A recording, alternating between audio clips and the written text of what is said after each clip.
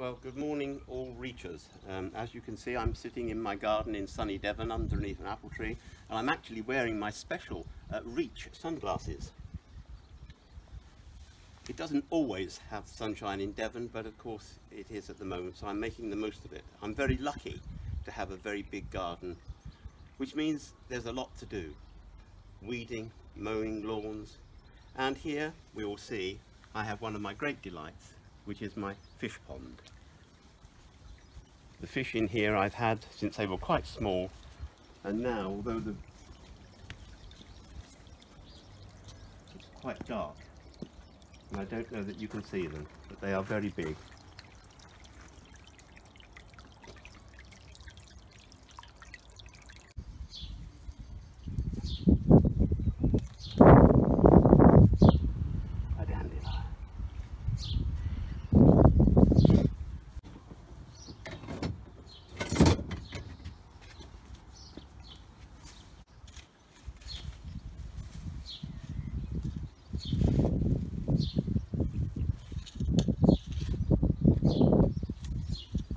Of course, we can't spend all day and every day in the sunshine because it isn't like that. And sometimes we have to come inside and work. And luckily, as you can see, I have a wonderful study, and I'm sure you have wonderful areas you can play in your bedroom or hiding behind the sofa or doing what you do. Uh, here is where I read, and as I'm the mayor and a councillor, I do have a lot of work to do via the computer. I'm very lucky that in order to use the cursor, I can't use an iPad or laptop. I use a what we call a PC and I do have something which I call my rat. Don't be worried.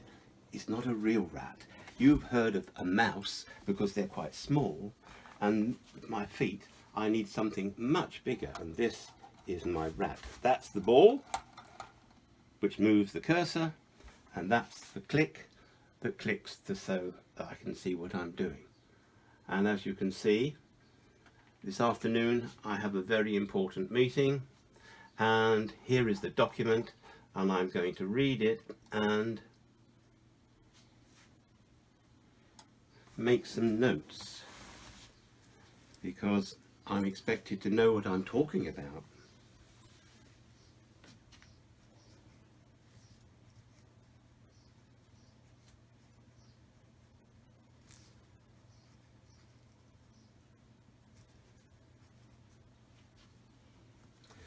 Page 33, the parish council objected.